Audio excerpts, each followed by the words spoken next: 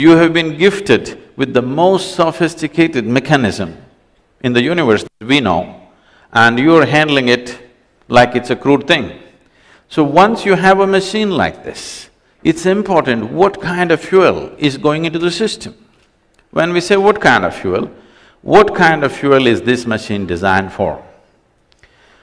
As I said, there are many, many ways of looking at it. The simplest way is alimentary canal.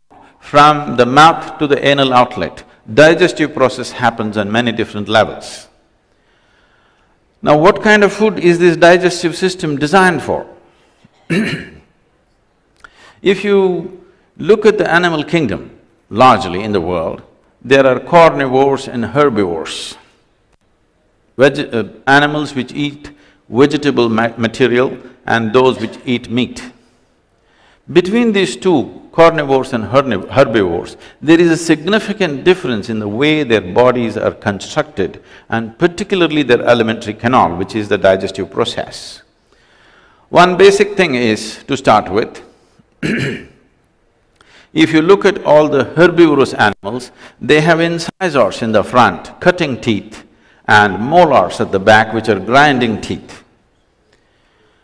All the carnivorous animals have incisors, not so well developed molars, and they have two extra pairs of canine. That is, if you want to eat meat in nature, to tear the meat and eat, you need this extra pair of teeth. Somehow, please check you don't have them. And if you check the jaw movement of herbivores and carnivores, all the carnivores have only cutting action in their jaw movement. They have to just cut their small pieces and eat it.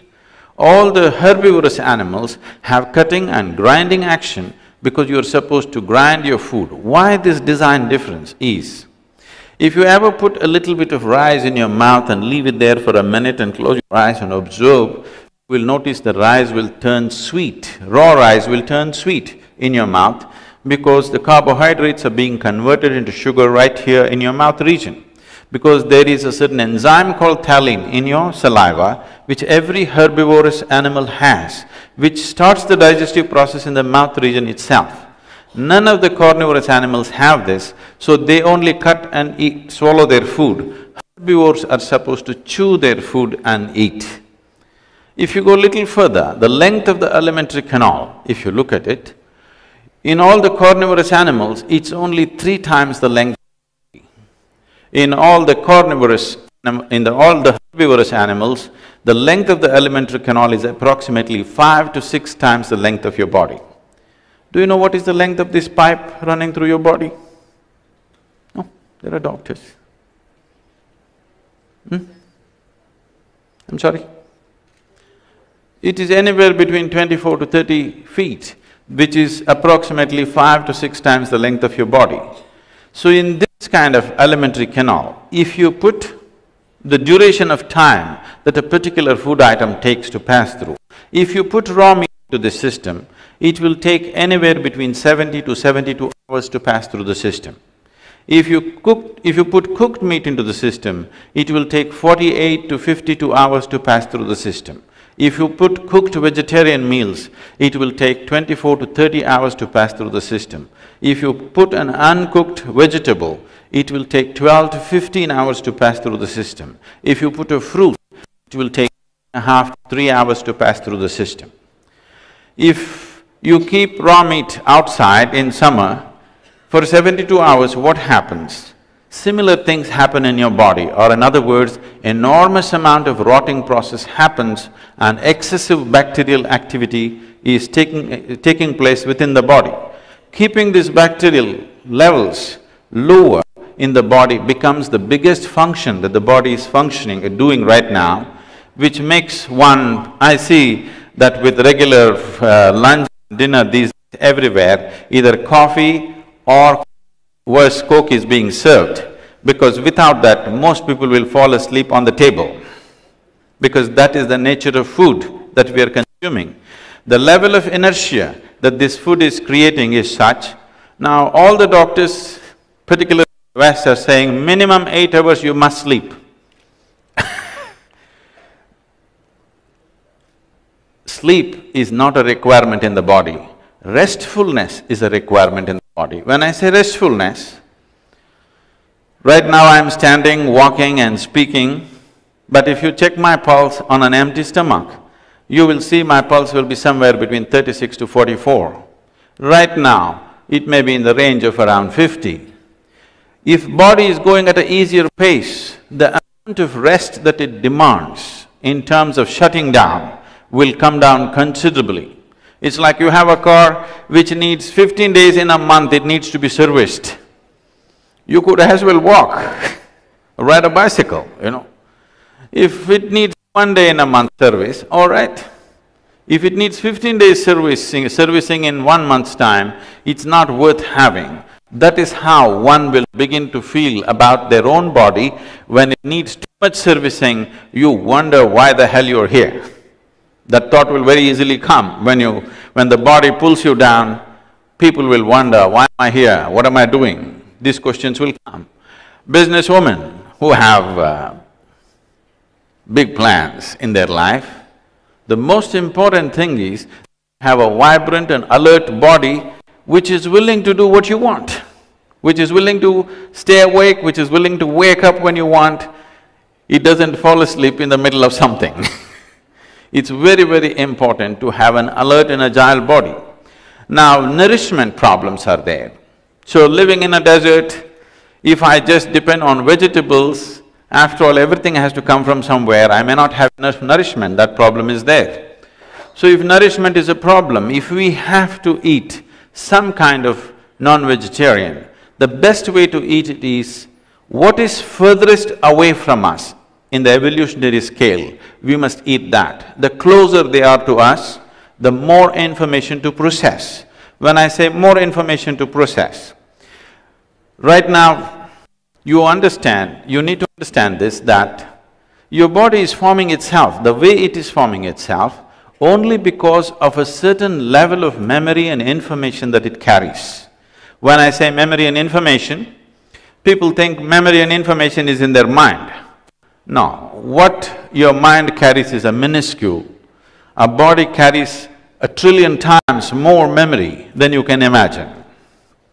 For example, Michelle, do you remember your great-great-great-great-grandmother, how she looked? No. You don't remember how your great-great-great-great-grandmother looked, but her nose is sitting on your face right now because your body remembers. Your body remembers how your forefathers were a million years ago, it is not forgotten. You might have forgotten, but your body remembers. There's a phenomenal amount of memory in every cell in this body. And similarly, the more evolved a particular creature is, the more complex it has become, the more difficult it is for the system to absorb and make it a part of itself.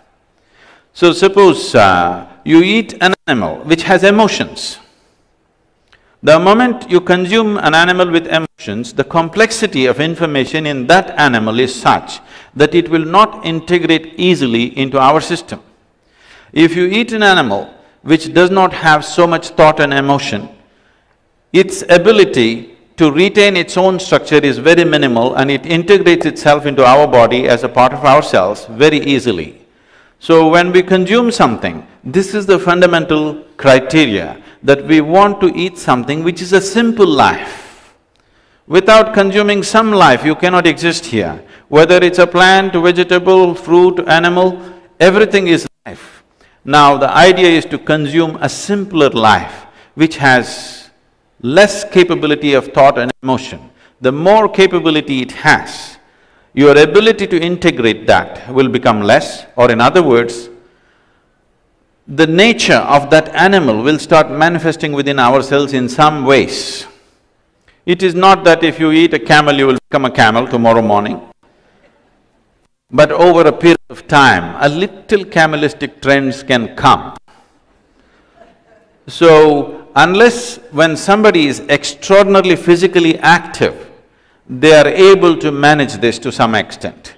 As physical activity comes down, how consciously you eat makes a world of difference. A human being need not be serviced for eight hours a day. If only if he or she eats properly, the kind of food substance which easily integrates into the system, the kind of food substance that will not create inertia, but it will create dynamism, the kind of food substance which will not need to stay in the body for long periods of time, something that passes through the system quickly. Carnivorous animals have a short alimentary canal because meat passes through the system slowly. Herbivores have a long alimentary canal because vegetable matter passes through the system very quickly. And we have a long alimentary canal and the purpose of a long alimentary canal is a more complex process is possible. When a more complex process is possible, what it means is the quality and the nature of the food in some way impacts us in character, in the way we are, in the way we think, emote and behave within ourselves and around us. So how consciously we consume food and how conscious we are as to how food behaves within us. If you're conscious enough, if something appears in front of you, you will simply know whether to eat it or not eat it. If that kind of awareness is not there, one has to have function by information as to different foods, how they behave and they do not behave.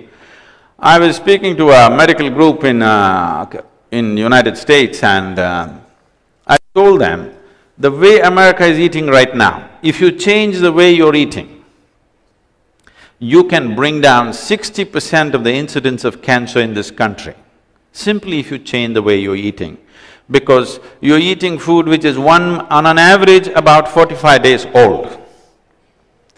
In the yogic culture, if anything is cooked, within one and a half hours you must consume it. From the stove, straight to the plate always. I'm sure in this culture also it was like that till recently.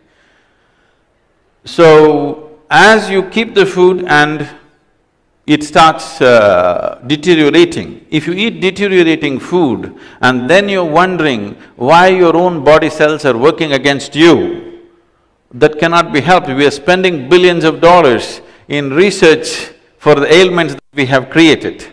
We need to understand this Every human cell, every cell in this body is essentially programmed for health. But right now, seventy percent of the ailments on the planet are chronic or in other words, they're self-created. There are infectious diseases which are an invasion from another organism that has to be dealt with medicine. All the chronic ailments, whatever it is, is manufactured from within. Why would our own body manufacture ailment for us simply because without understanding the fundamentals of how it functions and one important part of it is what we consume and how we consume. If we change this one aspect as to what we're consuming and how we consume it, health could be a natural process for most people. I would say sixty to seventy percent of the population will never get into health if only there's a little more conscious way of eating on this planet.